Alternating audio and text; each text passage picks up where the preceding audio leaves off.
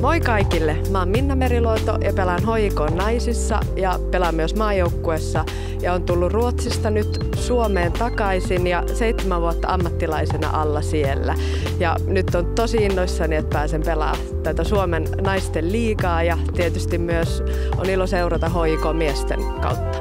Ja nyt mulla olisi tähän veikkauksen vakioriviin ihan varmat vinkit kaikille veikkaajille. Eli SJK ROPS 1, KTP KUPS 2, IFK Mariehamn HIFK 1, FC Inter Ilves 1. Ja sitten tietysti loppuun ihan varma vinkki, eli HJK FC Lahti 1. Ja vielä kaikille vakioveikkaajille vinkiksi, että kevään muotiväri on tietysti sinivalkoinen ja punainen nyt sopii vaan tomaateille.